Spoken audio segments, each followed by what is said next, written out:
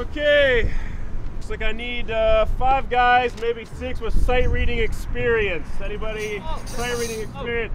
Let's take you with the trumpet.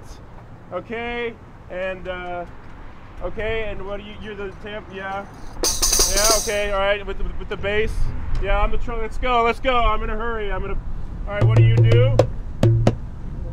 Okay, get on the truck. Get on the truck. What do you do? Uh, these here. Yeah, yeah, yeah. I got. And I have this other one over here. Okay, get on the truck. Get on the truck. Hell yeah. Not so fast. I can't use you. I'm sorry. I. Yeah, I know, I know, but I, I can't. I can't use you. Sorry. All right, let's go. Got a schedule to keep.